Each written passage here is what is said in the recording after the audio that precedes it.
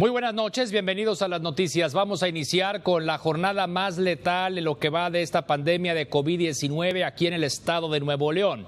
Hoy se dieron a conocer cifras verdaderamente preocupantes. ¿Por qué? Porque vemos que la intensidad de los nuevos casos de coronavirus cada vez es más es mayor. El día de hoy se reportaron 224 nuevos casos, 224 nuevos casos de COVID-19 y lo más grave, los fallecimientos. El día de hoy se reportaron 14 decesos. Vamos a los detalles.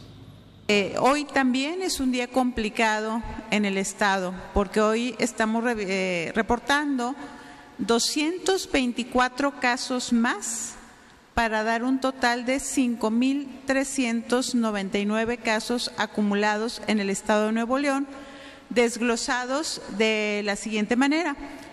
A 16 días de la reactivación económica, Nuevo León vivió una jornada letal en casos y defunciones por COVID-19. Por segundo día consecutivo se registraron más de 200 casos nuevos de esta enfermedad. En tanto, el número en defunciones llegó a 14, la cifra de muertos más alta en un solo día. Con las 14 víctimas mortales recientes, el número de fallecidos superó los 200, colocándose en 210 muertos. Entre las víctimas más recientes aparecen 10 hombres con edades de 57 a 96 años y 4 mujeres con edades de 32 a 81 años, todos con antecedentes de comorbilidad. Hoy también es el día en que más defunciones vamos a reportar por día, que son 14 defunciones, más a las previas ya reportadas. Este martes se registraron 224 casos nuevos. Con esto la cifra de contagios superó los 5.399 casos. La mayoría de los contagios son en hombres y el rango de edad con mayor incidencia es de los 25 a 44 años.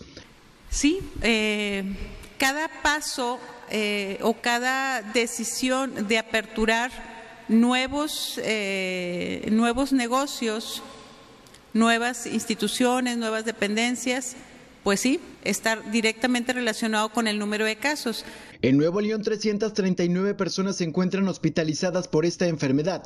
Esto equivale al 24% de los casos que existen en el estado.